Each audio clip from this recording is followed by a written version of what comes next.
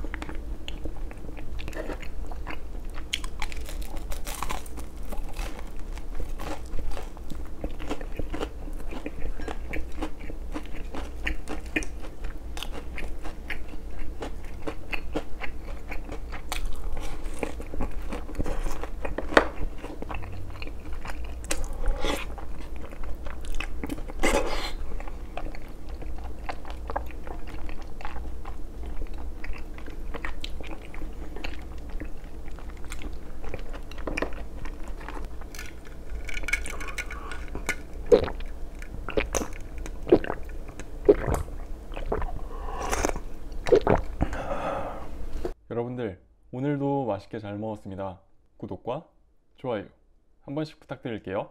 그럼 저는 다음 영상에서 찾아뵙도록 하겠습니다. 다음 영상에서 봐요.